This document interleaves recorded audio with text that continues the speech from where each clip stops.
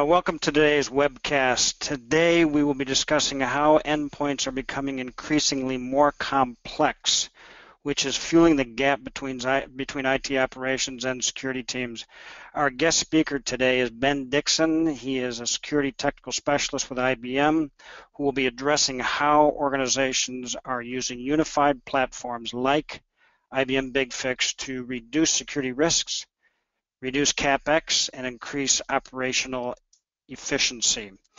Uh, before I turn it over to Ben, though, I wanted to just take a few minutes and introduce uh, CBI. So CBI is a full-service IT risk management company. This is all we do. We don't dabble in anything else. We like to say security is in our DNA. It was started by Steve Baroni in 1991.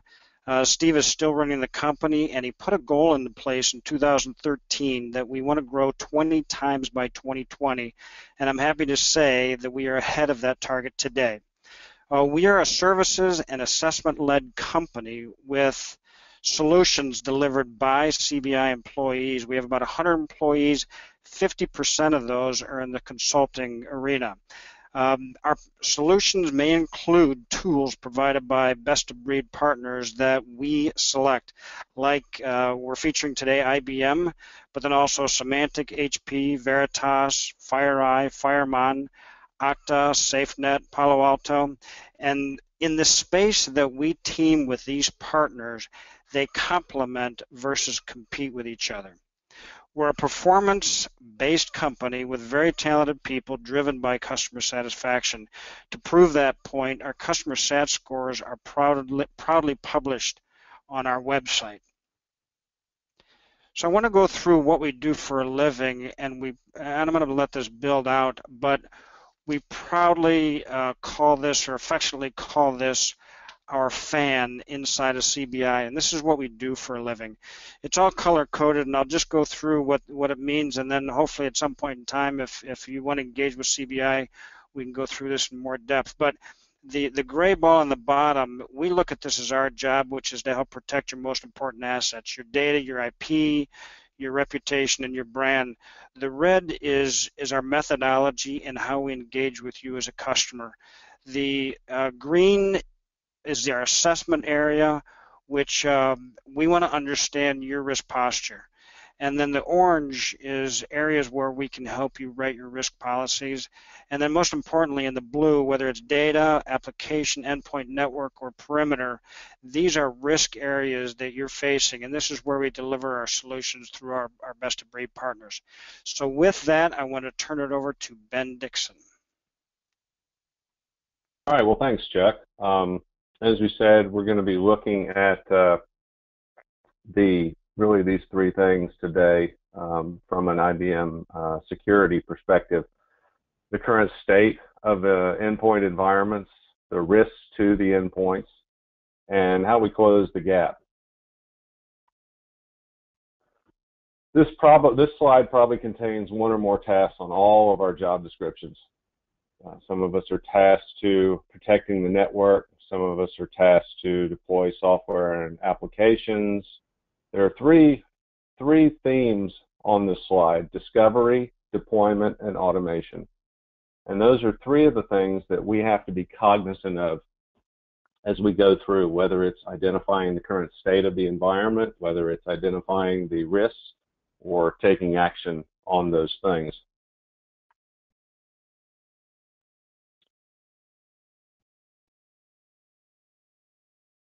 And this is how we accomplish what we're after. This is a BigFix environment. Uh, it's got a, a, lightweight, robust infrastructure. We have a, uh, a BigFix server uh, located in the center that is the, the top of the tree. Uh, we have, it's, it's highly secure and highly scalable. Uh, we're able to aggregate data analysis and reports down from the cloud-based content delivery that you see here. Uh, it, the, the, the features are uh, automatic and it's on demand that we have the content gets updated.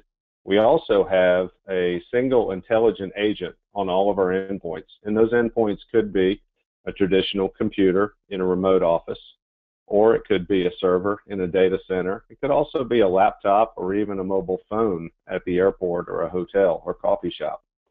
It does a continuous self-assessment and policy enforcement, which might be a little different from traditional uh, endpoint management techniques, which I'll talk about a little bit later. Uh, because the, the, the process is that it continuously works in the background on the endpoint, processing, uh, anal analyzing the the state of the endpoint and things that might need to be done to it, sort of an if-then, if you will. If this case exists, then we do this. The good part, the good side about that is that it has minimal system impact. It utilizes less than 2% of the CPU while it's while it's processing these analyses and these policy templates in the background.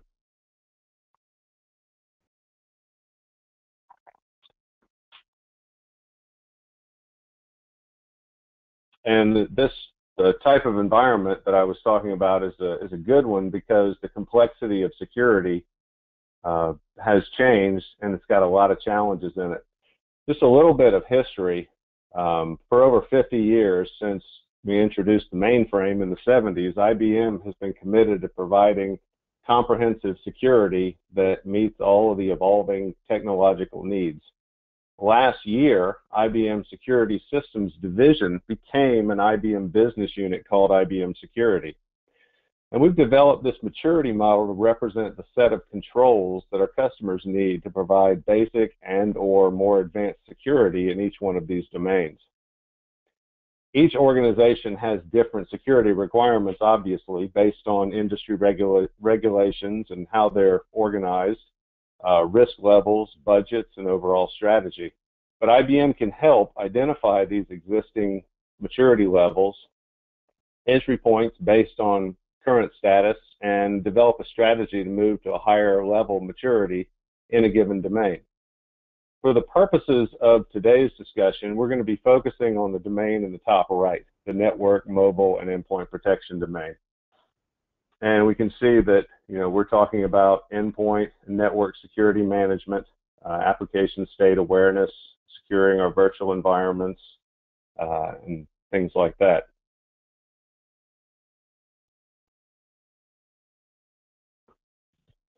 Historically, these two silos have acted independently, IT operations and security.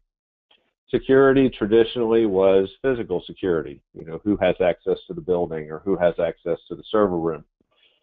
there really wasn't any need for overlap. But as we saw from the previous slide and over time, you know, we're no longer on the security side dealing with uh, physical security, building security. We're dealing with data security we're dealing with protecting not only the front door, but the internet door. We're trying to keep the bad guys out and keep the good stuff in. It's been relatively straightforward on the endpoint side to deal with discovery, make sure nobody brings a, an unauthorized computer to the office and plugs it into the network. We've been able to discover what the vulnerabilities are and patch those. We've been able to manage the life cycle of our endpoints. We know when uh, new computer gets ordered, we know what the triggers are to order a replacement for that computer when the life cycle is up. And we've been able to comply with various uh, uh, regulations and standards, things that we didn't want on computers, from software to uh, regulations that tell us that passwords have to be a certain length and things like that. But lately, we've had to combine that with protection from an external threat. We've had to continuously monitor because it's not just when our computer is on the network at work. We have to monitor it when it's on the counter at home. And we have to decide what kind of response we're going to take should uh, one of our endpoints computer, whether it's at the office, at the airport, or at home when it gets attacked and what kind of response that's going to entail. So what we've had to do is begrudgingly in some cases, align these two silos a little bit more. And it's been a growing process, as I, am I'm sure that you know people on the on the call are are familiar with the process, and that you've probably gone through some of it yourselves. So let's look a little bit now at the risk on our endpoints.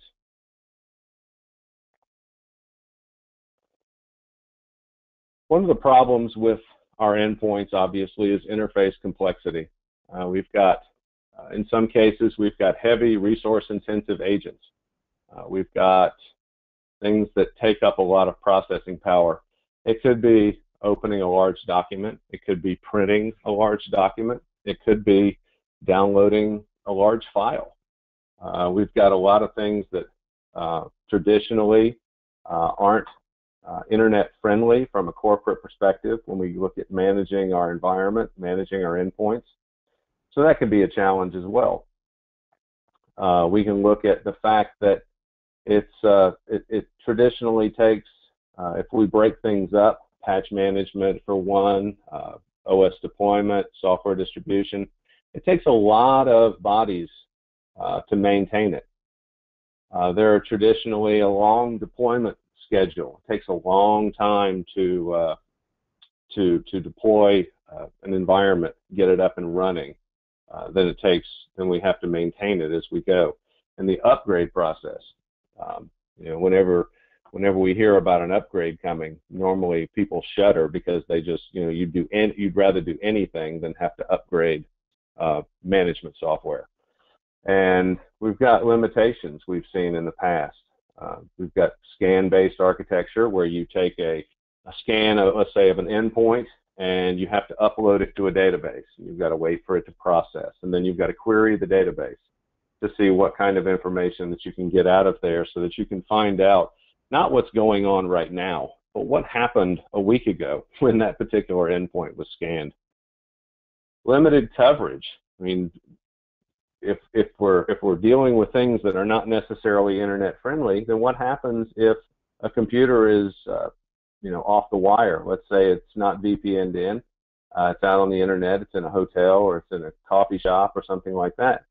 Uh, it's it's exposed, and we don't have the management capability over it historically. And one of the one of the features that or one of the, the, the lack of features actually that people have seen in the past has been the fact that we can manage a few endpoints or a few hundred or maybe even a thousand or so but scale past that.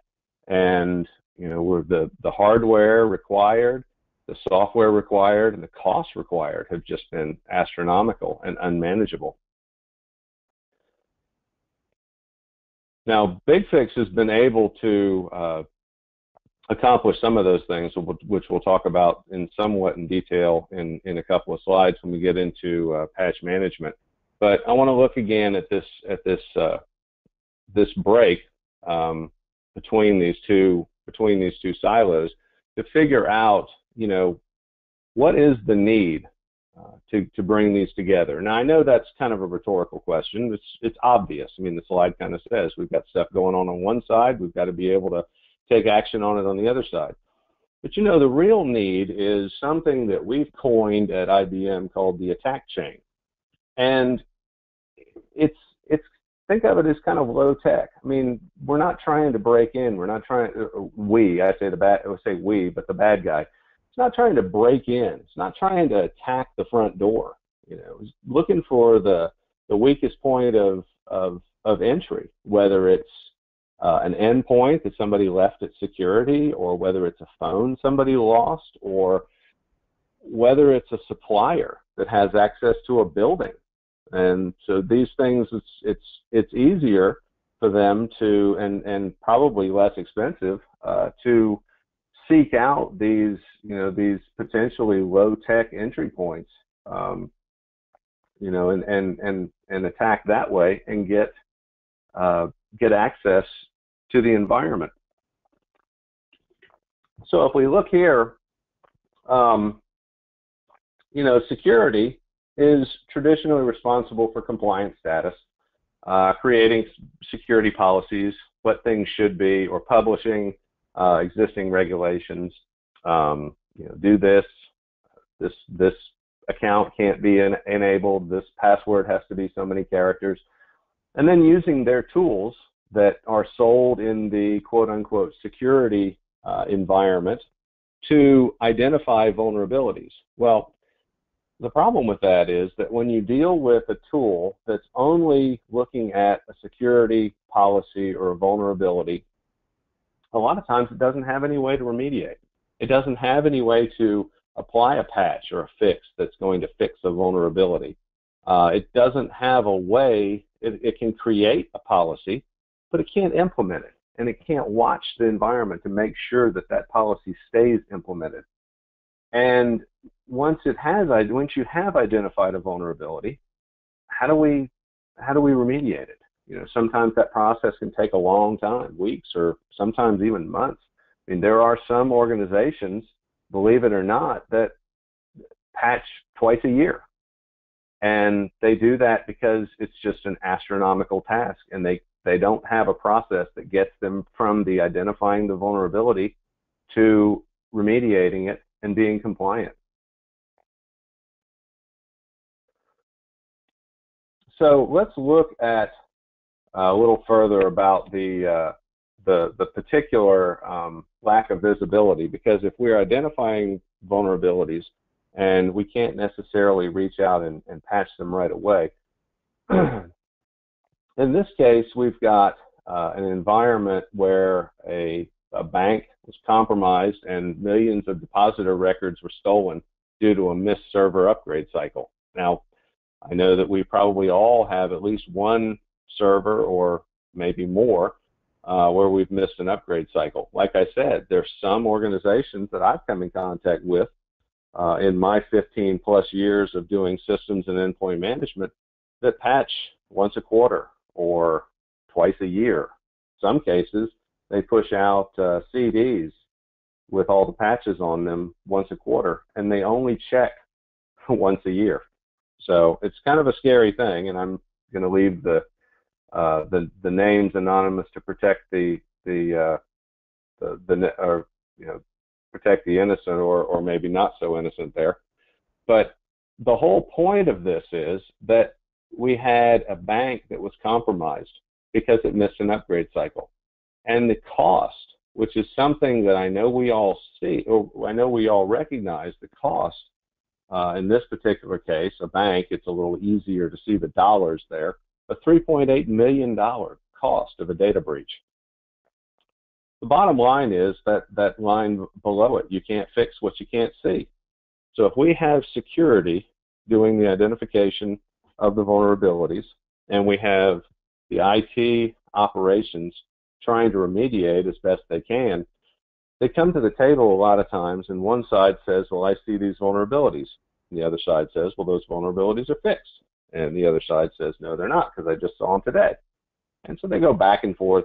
It's not so much in those cases about fixing the vulnerability. It's more about who's right. And, you know, you can't fix what you can't see, but you also can't fix what you're not willing to fix. So how do we close the gap on this? Well, let's look again at these two stacks, at these two silos, and let's take um, a couple of considerations. Well, first of all, we know that to tackle the endpoint security problem, all the departments have to be hands-on, and they have to be willing to work together, and they have to have shared visibility and control. So if I'm uh, doing discovery on one side, then the monitoring, maybe that security is doing, it needs to interface with my discovery and my patching. Because what's the point in patching I mean, this is obviously you do want to patch, but what's the point in in identifying vulnerabilities and patching if you can't keep up with okay, what's compliant? How am I doing so far? Uh, life cycle management. You know, there are a lot of steps in there. Deploying an operating system, deploying software, uh, deploying patches, and all of those things. We have to be able to do that while still protecting the threat.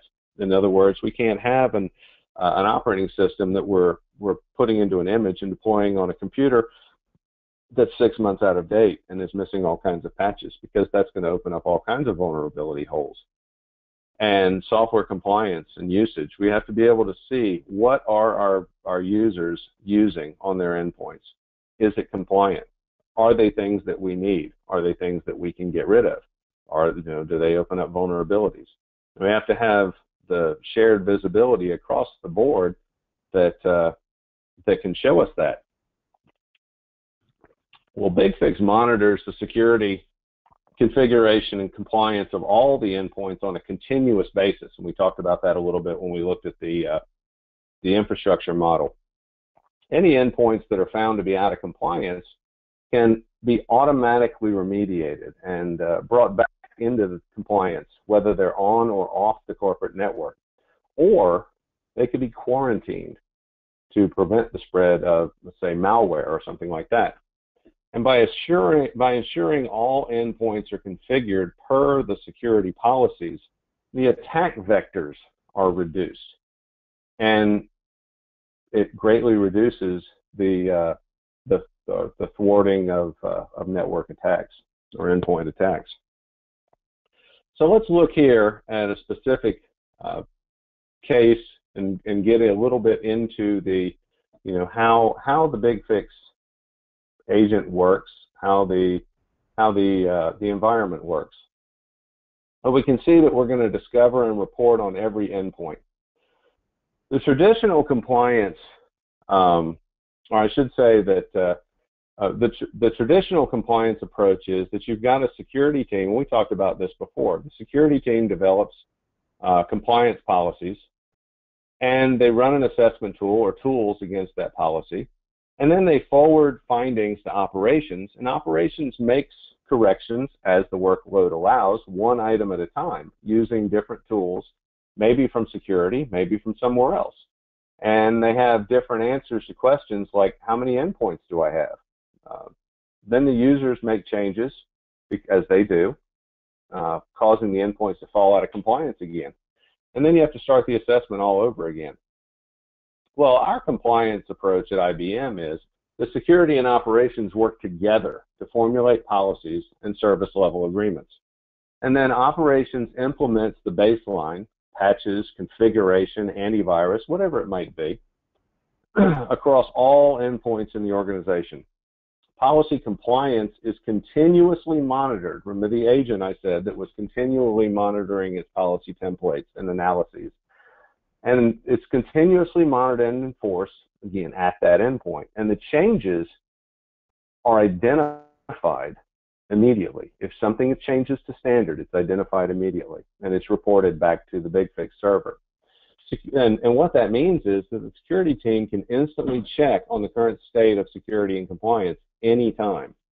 And the security and operations teams work together to continually strengthen security to adjust to evolving requirements.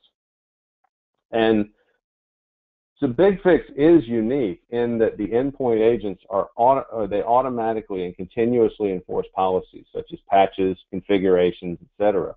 And once the initial policy is applied, the BigFix agent checks to ensure that the endpoint remains in compliance. If a patch or configuration is changed, BigFix automatically and autonomously reapplies the policy, ensuring that the users or malware uh, can't compromise the endpoint policies. One of the things we have to be able to see this is a security compliance dashboard. And you can see uh, from, from this screenshot of the dashboard uh, we've got, first of all, visibility. We've got visibility into a lot of things. We've got a compliance history. We've got a results history, computer groups. Uh, we can see the number of computers that we have, the number of checks and things like that. We're able to interact with this because a lot of these are hot links and we can click on them and get uh, drill downs if needed into more specific information. We can also run and schedule reports to, get, to gather the information that we need to return. So the compliance dashboard gives us all of this information really at, at your fingertips to be able to, uh, to assess, to analyze, to remediate, and to ensure that, uh, that you remain in compliance. Here are some real world examples of some of the, uh, and I'll, I'll just let you sort of uh, read over these, some real world, world examples of how some of our customers have benefited from using uh, the, the, different uh, products within the uh, BigFix Enterprise Suite, uh, from Patch uh, life management, inventory management, core protection, security compliance. Uh, one of the things that we like to look, we like to look, uh, talk about is right there in the middle of the slide. You see under patch, where we have a 98.5% patch and update compliance rate. A lot of times, or many times, that is uh, that's a first pass compliance, whereas we might be conditioned or we might be used to seeing 80% compliance the first time around, and then we got to run it again and again and again.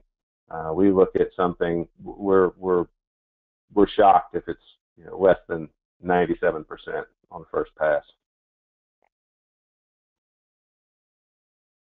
So just to recap, you know, we've we've seen and we have many types of endpoints in organizations today. It might be servers, it might be workstations, it might be kiosks and mobile phones. Can't forget those because we're doing a lot of business on those these days. And the responsibility for all the tasks in managing this this security ecosystem uh, falls on multiple departments, and gone are the days that one department can go do their job and never interact with another one. They've got to uh, they've got to talk and they've got to work together because the endpoints that, that's a prime target for the breaches. That's the that's the uh, the the low tech, the easy entry point for a lot of the breaches. And once you get in, you can have a big impact on the business. And so the next steps, as far as aligning the you know aligning the operations and security teams, we have to look at things like how are we going to discover? How are we going to decide what we're going to discover? How are we going to decide what we're going to patch and monitor it? You know, is is there is there an audit that we need to do? Is there a compliance reporting that we need to do? And once we bring all of those things together, how are we going to manage them? And so those are all challenges that we've got to accomplish. And uh, IBM BigFix um, is is a product that can can certainly accomplish that for you.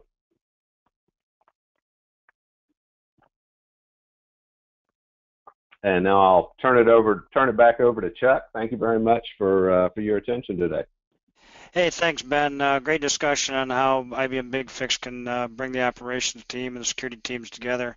Uh, we just have a couple more minutes, so if you have any questions, uh, Matt, if you can open up the lines, we'll take any questions, or if there's any questions in the chat room.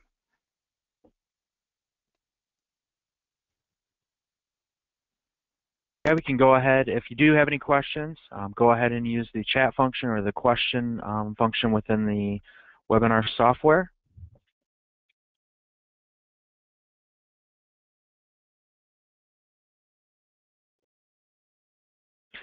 Okay, Chuck, it doesn't look like we have any questions, but following this webinar, um, you'll be able to view this on demand on the website. Uh, if you do have any questions, you can get the information off there and reach out to one of our um, experts, or you can email us at webinars at cbihome.com. Thank you, uh, and that uh, concludes. Go ahead, Chuck. No, I was just going to say